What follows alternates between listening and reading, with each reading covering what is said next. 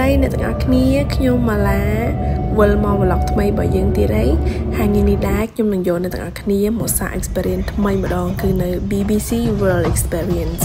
ហើយវីដេអូហ្នឹងក៏ប្លែកមួយដែរដោយសារអីគឺខ្ញុំបានដាក់ភ្លេងចូលលេងអ្នកទាំងអស់គ្នាអញ្ចឹងខ្ញុំព្យាយាមបញ្ចូលសលេងខ្លួនឯងហើយនឹងភ្ជាប់សំឡេងដែលខ្ញុំបានទៅមើល slide show ហ្នឹងឲ្យអ្នកទាំងអស់គ្នាបានឮថាតើសំឡេងរុក្ខជាតិសត្វព្រៃនិងអ្វីដែលខ្ញុំបានស្ដាប់ហ្នឹងគឺបែបម៉េច The forests of Borneo and Sumatra និយាយទៅ BBC World Experience ហ្នឹងគឺជាមជ្ឈមណ្ឌលសន្និបាតមួយ ដែលគេធ្វើវីដេអូនិងកម្រងរូបភាពតាក់ទងជាមួយនឹង documentary នៅជុំវិញពិភពលោកនិងការធ្វើដំណើរឆ្លងកាត់ទ្វីបទាំង7នៃបទពិសោធន៍តែមួយ។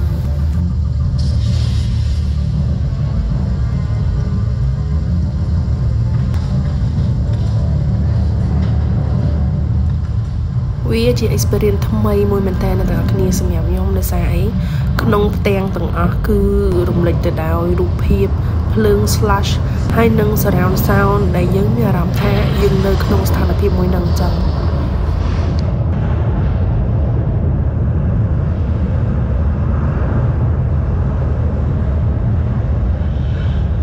is on its way and wildflowers are coming into កន្លែង bloom. ខ្លះគឺគេមិនធ្វើឲ្យយើង feeling ថា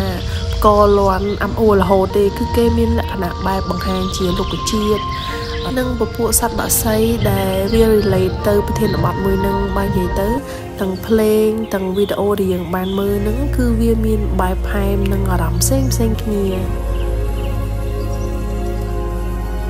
of marine creatures. សំខាន់គឺផ្ទាំងកញ្ចក់ 4K អ្នកទាំងអស់គ្នាផ្ទាំងធំភាគច្រើនគឺបែកព្រិលណាប៉ុន្តែនេះយើងមើលមកគឺ real ហ្មងអ្នកទាំងអស់គ្នាគឺល្អមើលហើយស្រួលត្រជាក់ភ្នែកមែនតើ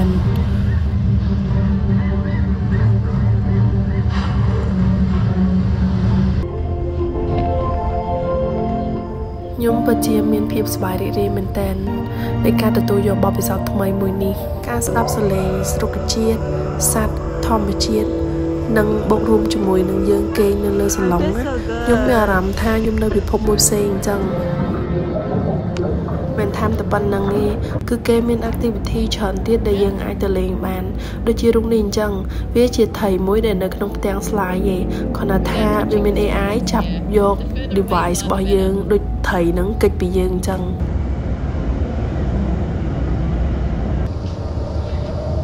ល្ងិតតិចហើយអ្នកទាំងអស់គ្នា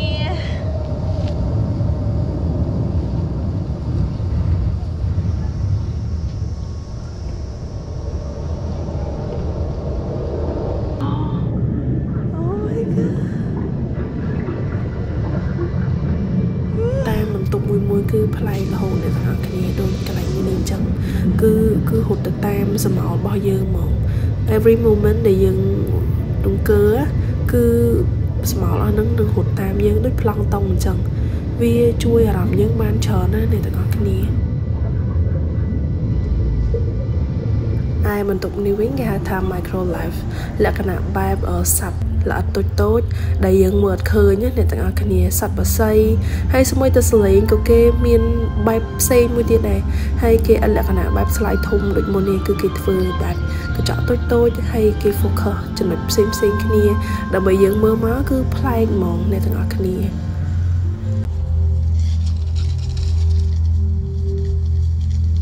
ឃើញប៊ូតុងក្រហមចុចទៅមិនទៅវាយទេអ្នកទាំងអស់គ្នា គឺជាបន្ទប់មួយដែលគេនិយាយអំពីពួកអឺសត្វដែលមានពឹស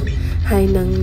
សត្វល្អិតតូចតូចៗដែលយើងមើលអត់ឃើញហើយគេព្យាយាមស៊ូមឲ្យយើងមើលច្បាស់ហ្មងពីការរស់នៅហើយនឹងរូបរាងពិតប្រាកដរបស់សត្វមួយនឹងមិនមែនត្រឹមតែឈរមើលទេអ្នកទាំងអស់គ្នាប៊ូតុងហ្នឹងគឺវាមានភាពរំញោចហើយនឹងមានខ្យល់បាញ់ពីខាងក្នុងមកទៀតមើលទៅដូចយើងនៅក្នុងស្ថានភាពមួយនឹងអញ្ចឹង បន្ទាប់ពីយើងបានដើរមើលអស់ហើយយើងចេញមកខាងមកគឺគេមានកន្លែងលក់វត្ថុអនុស្សាវរីយ៍ហើយនឹងថតរូបផងដែរបើនិយាយទៅ activity គេច្រើនណាស់ដល់យើង boring ទេ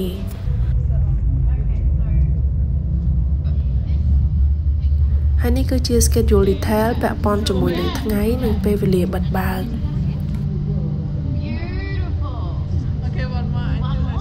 តែ duration នឹងការទស្សនាវិញ maximum គឺ1ម៉ោងគ្រប់គ្រាន់ទេអ្នកទាំងអស់គ្នាប៉ុន្តែក៏គេអត់មានហាមឃាត់យើងថាបើយើង enjoy that moment គឺយើងអាច stay long បាន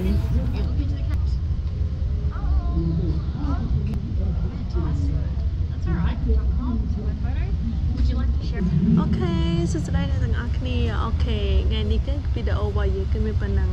វា is really like explore the new place called BBC Earth Experience បើនិយាយទៅគឺវាមាន signature មានពាក់ព័ន្ធជាមួយនឹងទឹកអឺសមុទ្រសត្វព្រៃជាច្រើនទៀតដែរខ្ញុំមានអារម្មណ៍ថា